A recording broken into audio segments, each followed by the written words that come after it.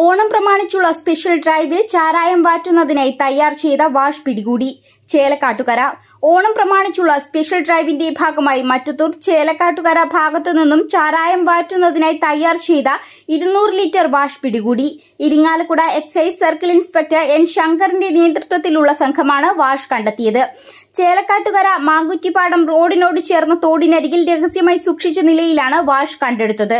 പ്രതിക്ക് വേണ്ടിയുള്ള അന്വേഷണം ആരംഭിച്ചതായും ഓണാഘോഷത്തോടനുബന്ധിച്ച് മലയോര മേഖലയിൽ ചാരായം നിർമ്മിക്കുന്നതിനായി പലരും വാഷ് ഉണ്ടാക്കുന്നുവെന്ന വിവരം ലഭിച്ചിട്ടുണ്ടെന്നും അന്വേഷണം ഊർജിതമാക്കിയിട്ടുണ്ടെന്നും എക്സൈസ് അറിയിച്ചു.